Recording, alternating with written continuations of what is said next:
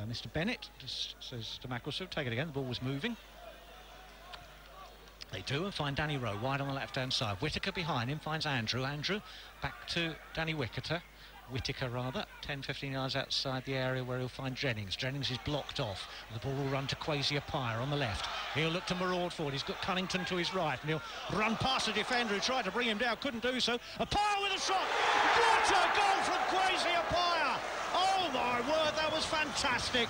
He picked it up inside his own half, took on a defender who tried to foul him and failed, kept going, kept going, and from 20 yards, hit it, and the keeper had no chance. 18 minutes gone.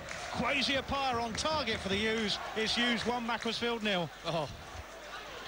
Manufactured and finished by Kwesi Appiah that one. We talked about the space that him and Adam Cunnington are fighting in the midfield at the moment. The space just opened up. He had Josh Gillies away to his left-hand side and I think thought about it, but Macclesfield really invited him on and him presented with him a chance to shoot and he hit it true to the keeper's right. 1-0 United, and that's Kwesi Appiah's ninth of the season.